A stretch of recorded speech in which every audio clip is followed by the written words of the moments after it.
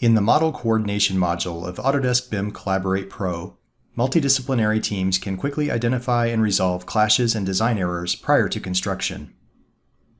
In Model Coordination, you can view models that have been uploaded to the cloud. From here, you can select models from your coordination space to use in Model Coordination.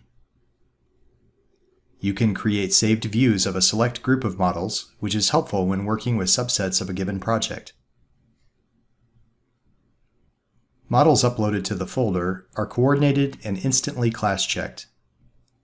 You can view the number of active clashes between any two models in this matrix. Clicking on a cell will navigate to the clash location, showing you what is interfering between structural and MEP. This means you can easily review clashes without waiting for coordination meetings and precisely locate those clashes within your models. You can mark a clash as not an issue if it does not require further attention. Model coordination allows you to create and edit issues directly from clashes between models. The issue title contains the ID number to help track the element in the Revit model. You can edit issue details, add information such as location and due date, and then close the Details panel the issue owner will receive an email notification with a link to the issue.